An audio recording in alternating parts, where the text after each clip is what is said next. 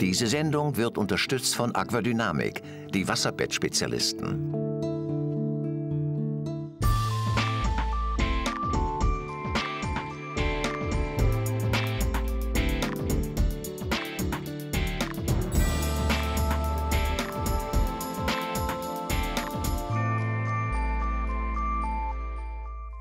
Alkohol, Cannabis, Kokain. In der Schweiz wird hemmungslos geraucht, geschnupft, gespickt und geschluckt.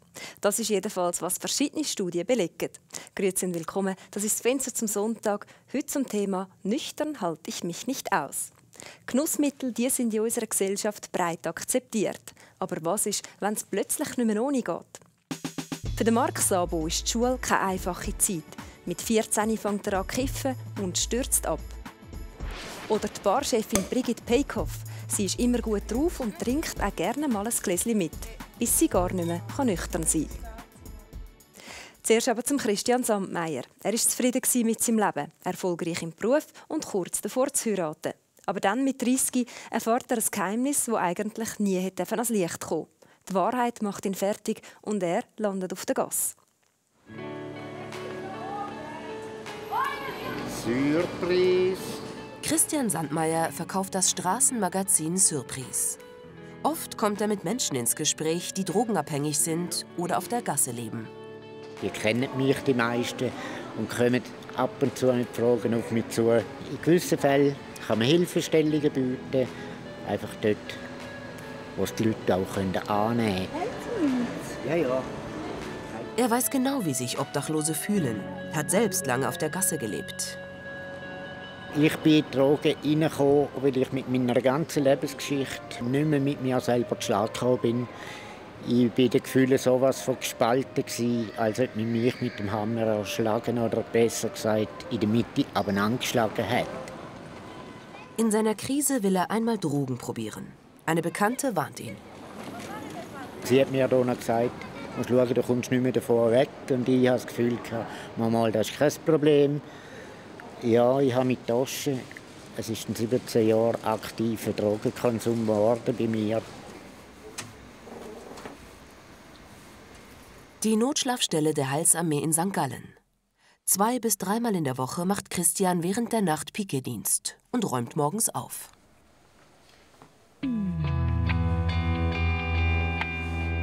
Sein Weg in die Drogen beginnt 1988. Er ist damals 30 Jahre alt und hat einen guten Job als Lagerist. Seine Verlobte eröffnet ihm ein dunkles Familiengeheimnis. Meine Verlobte hat mir erzählt, wer das mein lieblicher Vater ist. Habe ich bis dort dran echt nicht gewusst. Sie hat mir gesagt, dass mein Großvater mein lieblicher Vater ist. Und das hat mir völlig den Boden unter den Füßen weggezogen wäre mir nie in den Sinn gekommen, dass ich ein Kind aus Inzest bin. Also, mein Vater hat meine Mutter vergewaltigt, das war ihm seine Tochter. Und ich bin daraus entstanden. Und mit dieser Tatsache bin ich echt nicht schlag. Christian war bei den Großeltern aufgewachsen. Zu seiner Mutter hatte er kaum Kontakt. Als er versteht, warum das so war, bricht seine Welt zusammen. Jeder Mensch hat eine andere Art von Resilienz. Bei den gleichen Erlebnissen, der eine verkraftet das, der andere nicht. Und ich habe das auch nicht verkraftet. Seine Beziehung zerbricht. Er rutscht in die Drogenszene. Einige Jahre lang kann er den Konsum geheim halten und ist berufstätig. Irgendwann landet er doch auf der Gasse. Ich war wirklich zwei Jahre völlig auf der Gasse. Sommer wie Winter. Und in dieser Zeit bin ich viel hier in St. Gallen, aber auch in Zürich. Und halt einfach eben solche Schlafplätze gehabt, oder manchmal in öffentlichen WC oder Baubaracken. So.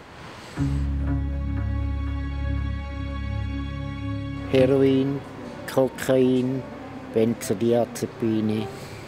Das ist so die Palette, die ich genommen habe. Das sind wir jetzt beim Stadttheater und das ist früher einmal mein Schlafplatz, den ich mir ausgewählt habe. Wir hatten hier natürlich alles Gebüsch und man war verdeckt. Da ist wirklich die ganze Nacht nie jemand gekommen. Ich habe das Leben auf der Gasse nie wirklich als gut empfunden. Man ist einfach auf der Gasse, man ist mit diesen Leuten zusammen, aber ganz viel durch den Konsum, äh, der Tag geht einfach vorbei und man merkt es eigentlich gar nicht. Oder? Man lebt am Leben vorbei. Wegen kleinerer Delikte und Drogengeschäfte landet er 1998 im Gefängnis. Eines Abends konsumiert er dort mit einem Kollegen Drogen. In der Nacht erlebt er Schreckliches. Im zweiten Drittel der Nacht ist äh, mir das einfach dort mal so vorgekommen, dass äh, wirklich eine böse Macht in Form von einem dunkleren Dampf durch die geschlossene Gefängnistüre gekommen ist, ein dunkler Dampf und aus Empfinden, dass das das Böse für sich selbst ist. Oder? Christian ist starr vor Angst. Plötzlich erinnert er sich an die Sonntagsschule in seiner Kindheit. Die Lehrerin hatte ihm von Jesus Christus erzählt. Dort habe ich angefangen zu Jesus beten und äh, da hat dann nicht lange gebraucht, ist das für mich spürbar geworden, wie es mir selber wärmer wird und wie die kalte, dunkle Macht hat man durchweichen. Es klingt ziemlich verwirrlich für vielleicht viele Leute, aber ich habe das so erlebt. Er schöpft Hoffnung und will nach der Haft ein neues Leben beginnen. Doch es dauert nicht lange und er findet sich in der Drogenszene wieder. Vor x Jahren ist das wirklich der Platzspitz dort, St. Gallen. Da haben wir äh, da unten etwa 30 Schlafsäcke nebeneinander Ich war selber auch dabei in selber Zeit. Also ich mag mich noch sehr gut erinnern, wie das war. Und hier auf der Plattform oben sind rundum die Leute einfach am Filtern. Man denkt dann einfach, ja, jetzt scheiße, wieder Trigkeit, oder? Die Sucht läuft aus dem Ruder. Wie durch ein Wunder überlebt er vier Überdosen. Ich glaube, mein Gott hat mich nie verloren. Darum lebe ich heute noch. Auch in den schlimmsten Situationen in, äh, habe ich das Gefühl, ist Gott immer da. 2005 spürt Christian, dass er ohne fremde Hilfe nicht drogenfrei wird und lässt sich in eine Klinik einweisen. Ab dem zweiten Tag nimmt er keine Substanzen mehr. Nach 17 Jahren Drogenkonsum wird er clean. Heute engagiert sich Christian Sandmeier bei der Suchthilfe Endless Life in der Prävention und Beratung. Ist schwierig, das Budget ist immer noch Auch Thomas Feurer, der Gründer des Vereins, hat eine steile Drogenkarriere hinter sich. Unser Ziel ist es, den Menschen zu helfen, aus dem Sumpf rauszukommen. Wir möchten es langfristig, also über längere Zeit auch begleiten. Das heißt wieder stabilisieren, Arbeitssuche, Wohnungssuche, einfach das, was möglich ist natürlich noch.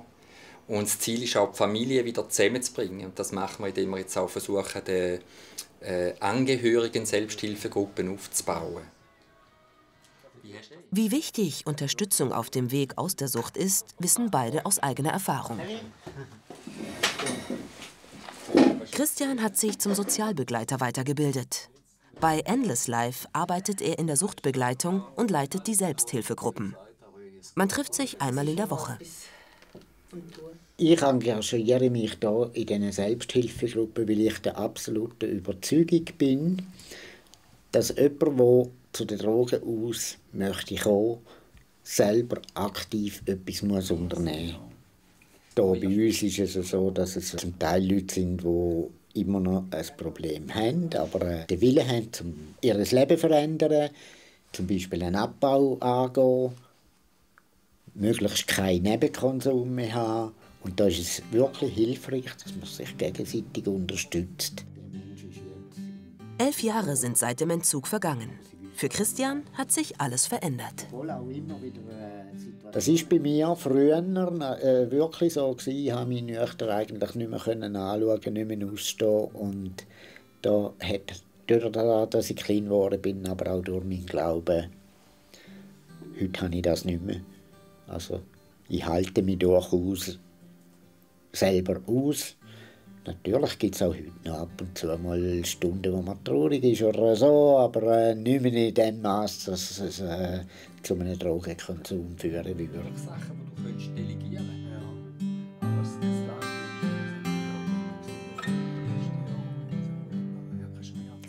35 Liter Wein und 56 Liter Bier. Das hat laut Statistik jeder Einwohner in der Schweiz im Jahr 2015 getrunken.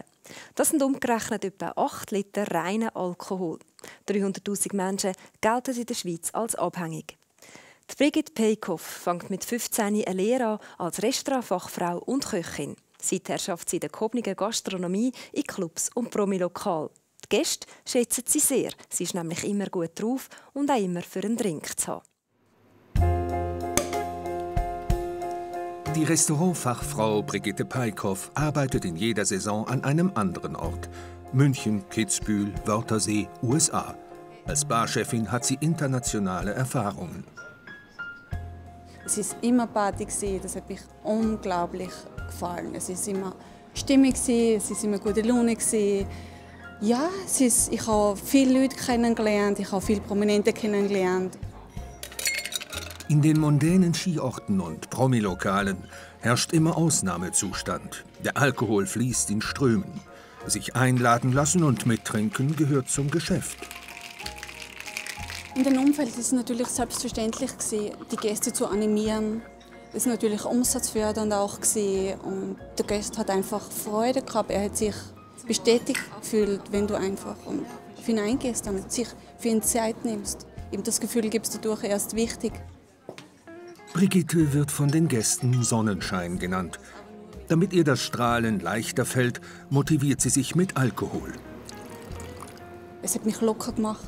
Es hat mich unterstützt, dass ich immer freundlich sein kann. Dieser Sonnenschein, dieses immer gute Laune und es hat dazu beitragen, dass ich das Ganze aushalte, auch inmitten von den ganzen Betrunkenen dann einfach das auszuhalten zwei Flaschen trinken, das ist keine Sache gewesen. Ich habe unglaublich viel vertragen mit der Zeit an. natürlich auch während der Arbeit. Da kann man ähm, zehn Schnäpse trinken, man schwitzt das ja alles wieder raus. Es ist eine ständige Bewegung.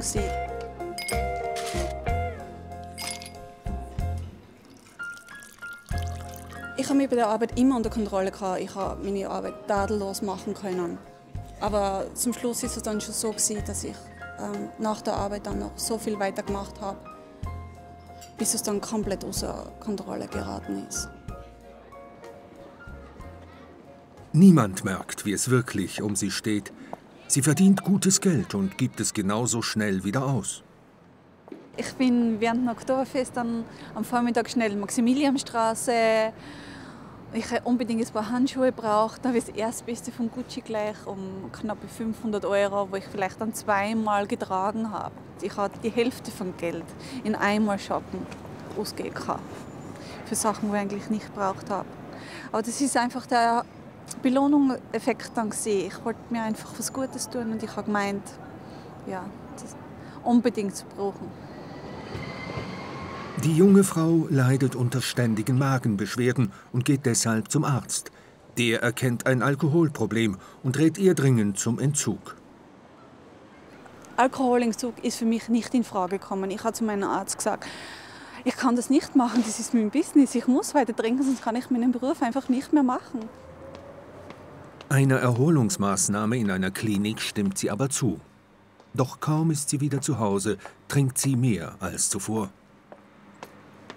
Als erstes in einem Lokal vor der Arbeit schon einmal eins bis zwei Gläser getrunken. Und dann durch den Tag so langsam eins nach dem anderen. Also der Arzt hat mir gesagt, ich bin Spiegeltrinker, immer auf einem gewissen Level.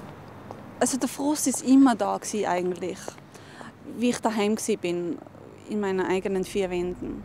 Wenn ich allein bin, es ist immer Frust gewesen. Verzweifelt schluckt sie eine Überdosis Tabletten. Sie überlebt und will ihr Leben verändern. Sie beginnt zu studieren, doch die Doppelbelastung, Tagsstudium, nachts arbeiten, überfordert sie. Ich habe zum Schluss nichts mehr machen können. Ich habe nicht mehr den Haushalt sowieso nicht machen können. Ich habe meine Wäsche nicht mehr waschen können. Um den Schein aufrechtzuerhalten, habe ich dann einfach immer Sachen nachgekauft. Ich, habe mir, ich bin zum Kaffee gegangen, damit die Haare immer schön ausgesehen für das Bild für die anderen. Es ist einfach immer elend, einfach aufwachen jeden Tag mit Kopfschmerzen, mit Übelkeit und oh, traurig, leer. Ich weiß gar nicht, ob ich mich überhaupt zwischendurch gespürt habe.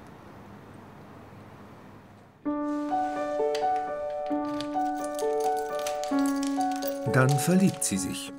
Mit ihrem neuen Freund zieht die Österreicherin in die Schweiz, um einen Neuanfang zu wagen. Sie hört auf zu arbeiten und hat endlich Zeit zum Nachdenken. Doch das Gefühl von Leere und Sinnlosigkeit bleibt. Mit ihrer Nachbarin spricht sie darüber. Bis dann eines Tages meine Nachbarin mir gesagt hat, ähm, dass wir alles Loch im Herz haben und dass das Loch nur Jesus füllen kann. Und das hat mir so eingeschlagen und ich habe gewusst, ich musste Jesus suchen. Ich probiere es einfach mit ihm. Brigitte beginnt sich intensiv mit dem christlichen Glauben auseinanderzusetzen und besucht Gottesdienste in einer Freikirche. Bald wirkt sich der Glauben in ihrem Leben aus. Ängste sind auf einmal verschwunden, wo mich ständig begleitet haben. Die Angst vor der Dunkelheit ist weggegangen wo mich vorher immer wichtig war, Ausgang und so weiter, ist auf einmal hat keine Rolle mehr gespielt. Also ich wollte am Samstag nicht mehr in den Ausgang gehen, weil ich wollte einfach am Sonntag fit sein für den Gottesdienst. Regelmäßig liest sie in der Bibel und findet darin Orientierung. Dabei macht sie eine besondere Erfahrung. Eines Tages habe ich Stimmen gehört, ähm, wo ich ganz klar gewusst habe, was von Gott, wo gesagt hat, hör auf zu rauchen. Und das war für mich klar, seitdem habe ich keine Zigarette mehr angegriffen. Mir, mir grust davor. Und somit auch ähm, habe ich nicht mehr das Bedürfnis, keinen Alkohol zu trinken. Was ich vorher einfach alles geliebt habe. Ist auf einmal, auf unerklärliche Weise habe ich es nicht mehr gern. Es hat sich verändert, ohne dass ich es wirklich gemerkt hätte. Heute kocht Brigitte für ihre WG-Kolleginnen. Sie ist gelernte Köchin und beginnt wieder in diesem Berufsfeld zu arbeiten. Sie engagiert sich in Pfarrer Siebers Sonnestube und als Hauswirtschafterin auf einem Jugendschiff. Mein Wunsch ist, dass ich einfach gefestigt bin, dass ich weiterhin mit Jesus unterwegs bin, dass ich wirklich eine Berufung gefunden habe. Und der Traum ist jetzt auch, wo ich gemerkt habe vom Jugendschiff, dass ich einfach es daheim haben möchte für Menschen, wo einfach in Not sind auch. Brigitte Peikow hat vor kurzem geheiratet und ist Mutter eines Sohnes. In ihr altes Leben mit Alkohol will sie nie mehr zurückkehren. Ich werde auf keinen Fall mehr ähm, in Bars arbeiten, wo ich mittrinken muss. Diese Feierstimmung, das brauche ich nicht mehr. Ich möchte nicht mehr in einer Scheinwelt sein, wo ich mich dahinter verstecken muss. Und ich möchte ganz sicher nicht mehr ja, mich am Leben erhalten müssen mit dem Alkohol.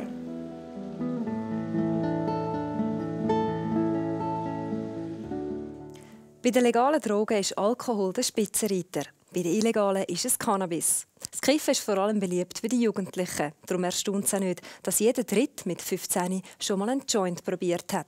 Sex aus Neugier oder zum Problem vergessen so wie bei Mark Sabo aus Ungarn, wo häufig aggressiv war. Um sich zu beruhigen, greift er zu Cannabis und stürzt ab.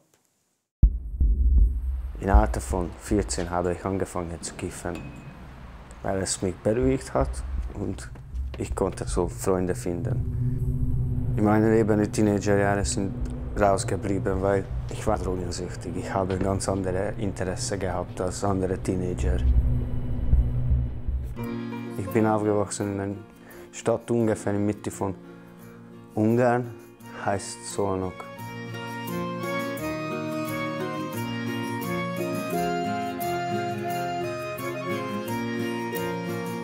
Mein Vater ist gestorben im Alter von 27. Er ist Alkoholiker gewesen. Er hat getrunken und hat probiert zu schwimmen im Fluss. Er ist ertrunken. Ich bin ausgebildeter Drogen- und Gifttechniker. Dadurch habe ich ziemlich alles gelernt von Narkotiken, Anatomie, Biochemie, Deshalb konnte ich behandeln, Überdosis. Ich wollte alles probieren, was ist. So wie LSD, verschiedene Pilze, Kaktus, damit ich meinen Verstand erweitern kann. Als ich im Alter von 22 mich zu spritzen gelernt habe, ich bin so schnell, so tief gerutscht, ich konnte es gar nicht mehr zurückhalten. Mich hat nichts mehr interessiert, nur dass ich Drogen nehmen kann. Ich habe den ganzen Tag konsumiert. Egal was und egal wann und egal wie viel. Wo mein Geld fertig gewesen ist, bin ich zu Stehlen gegangen oder jemanden betrügen. Und so habe ich mein ganzes Leben zerstört. Ganzer Freundeskreis, ganze Familie.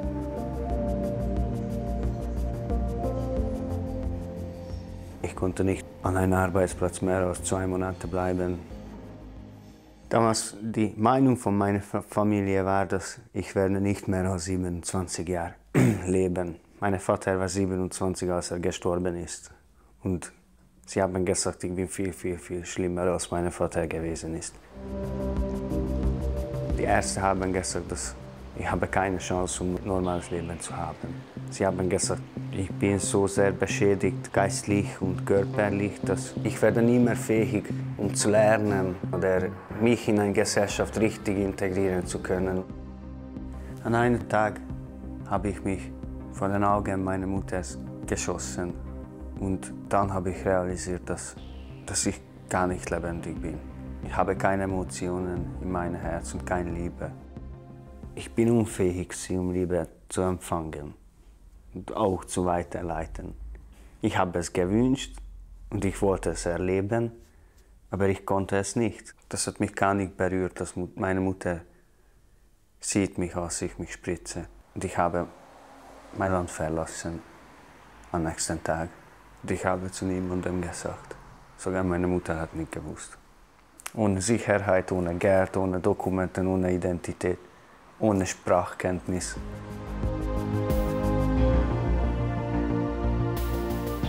Einmal früh am Morgen in Basel, gegenüber Münster, an der Rheinseite, habe ich eigentlich realisiert, dass, dass mein Leben ist nichts geworden. Meine Vergangenheit ist nur Schande und meine Gegenwart, ich war, ich war vielleicht 45 Kilogramm und dreckig. Und habe keine Freunde gehabt. Als Zukunft habe ich, ich bin ziemlich überzeugt gewesen, dass, dass in ein paar Wochen werde ich, werde ich sterben in Überdosisen in einer öffentlichen Toilette. Plötzlich habe ich meine Hand in meine Hosensack getan, wo ich einen Zettel gespürt habe. Und ich habe diese Zettel rausgenommen meine Tränen von meinen Augen ausgelöscht und ich habe das gelesen und darauf stand geschrieben, Tram Nummer 6 Habermatten, New Covenant of Fellowship, Dan und Katrin Backlund. Als ich hier erst einmal reingekommen bin, habe ich Katrin getroffen. Sie hat gestrahlt. Sie hat sich gar nicht von mir ferngehalten. Das war sehr berührend damals. Ich habe gefragt, ob ich ob ich ein Bett und ein Teller Essen und ein Dusch nehmen kann hier. Und dann bin ich da geblieben. Mitten unter diese Leute, die mich sehr geliebt haben und eigentlich immer vergeben, immer akzeptiert und immer angenommen und eigentlich bedingungslose Liebe gezeigt haben. Das Wichtigste, das sie mir weitergegeben haben, war Jesus. In Jesus habe ich Lebensfreude gefunden. Etwas, das ich immer gesucht habe. Ich konnte es nie finden. Ich, ich hatte keine Ahnung, dass es Jesus gibt. Ich habe, hatte keine Ahnung, wo ich Leben suchen soll. Ich habe immer die schlechte Sache probiert dafür. Aber als ich Jesus gefunden habe, habe ich es bekommen. Eigentlich frei, gratis. Und als ich Gott erlebt habe, habe ich sofort gewusst, dass es Gott gibt und dass er gut ist. Ich bin sehr schlimm. Ich, ich war sehr, sehr schlimm. Und wenn dieser Gott mich lieben kann, dann, dann will ich ihn. Ich habe mein Leben zu ihm gegeben und er hat ein Wunder gemacht. Ich habe keine Wünsche gehabt, um Drogen zu nehmen. Ich wurde befreit. Ich kann nicht erklären. Vorher habe ich jahrelang jeden Morgen Wunsch gehabt, Drogen zu nehmen. Und ich habe keinen Entzug gehabt. Kein Psychiater und kein Medikament. Kein Fieber oder Schweißen. Ich wurde befreit. In allem meinem Leben ist, ist eine, ja, es ist ein kind, Kindheitstraum, dass ich, dass ich einmal Gitarre spiele. Aber ich habe nie, nie probiert. Ich habe immer konsumiert. Und dann habe ich die Gitarre genommen und jetzt spiele ich in Kirche, spiele ich zu Hause, spiele ich spät am Nacht. Jesus hat alles neu gemacht. Er hat meine physische Gesundheit erneuert, er hat meine, meine geistige Bereitschaft erneuert. Erst habe gesagt, dass ich nicht mehr fähig zu lernen werde. Und heute habe ich Gitarre zu spielen gelernt, habe ich die Bibel kennengelernt. Ich bin fähig zu arbeiten und ich arbeite. Und ich bin zuverlässig und habe ich mich integriert. Ich bin Teil von einer Gesellschaft. Ich habe sehr viele Freunde, sehr viel Freude, sehr viel Liebe.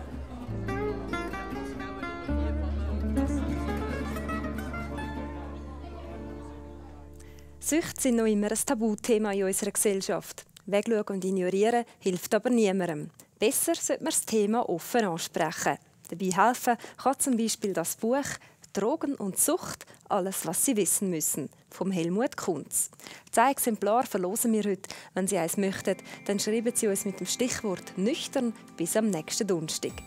Nächste Woche trifft der Rudi Joseram den Nathanael Amann, ein Pfarrsohn, der regelmäßig ins Buff gegangen ist. Und in zwei Wochen begrüße ich Sie aus Sahne, dann mit bewegenden Geschichten zum Thema Winterliebe. Bis dahin wünsche ich Ihnen eine gute Zeit. Bis bald. Ade miteinander. Diese Sendung wurde unterstützt von Aquadynamik, die Wasserbettspezialisten.